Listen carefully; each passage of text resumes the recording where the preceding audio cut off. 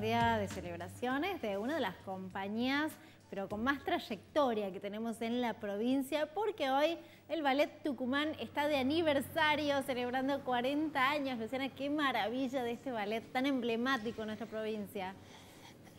40 años, Mariana, imagínate una institución privada tan difícil de sostener, eh, hoy sobre todo con la situación que estamos viviendo. Ellos igual van a celebrar porque son 40 años, ni más ni menos, un ballet Tucumán que estuvo en Cosquín. Y bueno, vamos a hablar con Nicolás Brizuela, quien eh, ya viene de sus padres viene todo esto, ¿no? Nicolás, buen día. Hola, buen día. Gracias por eh, estar acá en mi casa. Sí, viene de, de mis padres, mis viejos.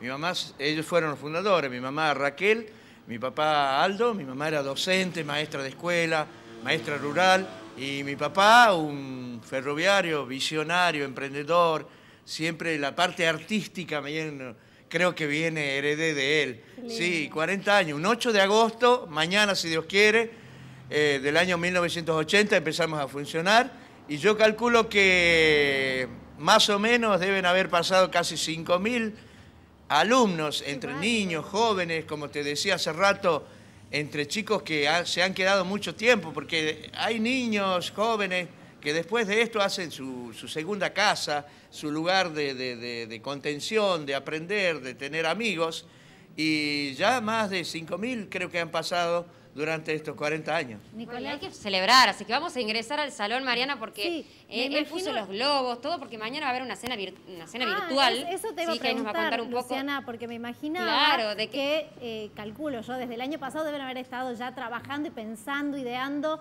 el festejo para los 40 años, pero bueno, pandemia, ¿cómo han tenido que modificar esta celebración? Y bueno, ahí nos va a contar entonces Nicolás, ¿de qué se trata la cena y con quién les vas a compartir? Bueno, mira, mañana a las 21.30 los quiero invitar a todos porque vamos a compartir nuestra cena de gala de los 40 años a la, en forma virtual, por supuesto, a través de Zoom. Y van a estar presentes todo un montón de amigos que hemos recogido durante este camino del arte, este camino de la danza.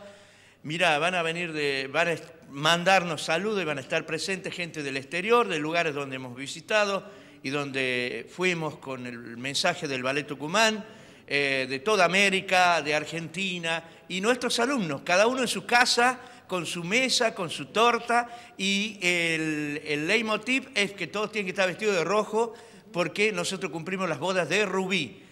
40 ah, eh, años las bodas de Rubí, así que todos vestidos de rojo. Perfecto. Esa es la consigna, entonces. ¿Cuántos alumnos eh, actualmente tenés? Bueno, por esta casa pasan casi 150 personas, entre niños, jóvenes y adultos, que vienen y aprenden. Yo digo siempre que cuando sos niño, primero juego con los niños, con los jóvenes perfecciono y con los adultos exijo.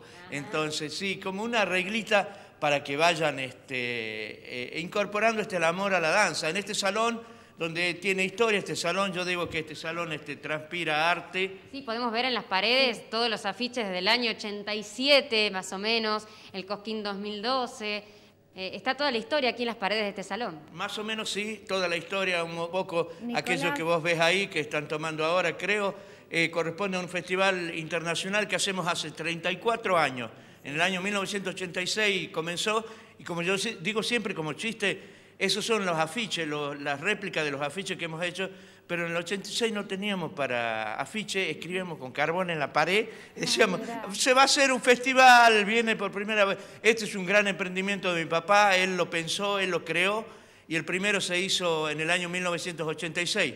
Pero hoy, este año sería el número 34. Y fíjate vos que desde el 2000, eh, sí. ¿Sabés qué estamos viendo ahora en pantalla? Eh, una de las actividades que ustedes hicieron para esta cuarentena, esta, una presentación virtual en modo cuarentena, cada uno desde su casa, un trabajo increíble, ¿no? Lo que, lo que han hecho realmente los integrantes del Ballet Tucumán. Sí, Mariana, la verdad que yo, eh, muy emocionante. Eso se llamó Grito de Libertad. Te lo pasaron ustedes, lo, lo pudieron compartir todo el mundo a través de ustedes. Eh, una obra que cada chico hizo en su casa. Yo les mandé la música, les hice la consigna. Nosotros tenemos varias obras armadas ya que son clásicos, eh, son coreografías que han perdurado en el ballet y que generaciones tras generaciones fueron este, aprendiéndola Y bueno, una de esas era esta ópera Bicentenario que pusimos en escena aquel este 25 de mayo con cada uno en su casa. Realmente fue una cosa muy emocionante porque eh, todos los chicos se pusieron en el atuendo, se volvieron a pintar las chicas y me decían, me mandaban mensaje, profe, qué emocionante, me estoy pintando y poniendo los zapatos de nuevo en este momento que, fíjate vos, nosotros terminamos las casas en diciembre, comenzamos una semana, o sea que ya hace casi más de casi nueve meses. se extraña.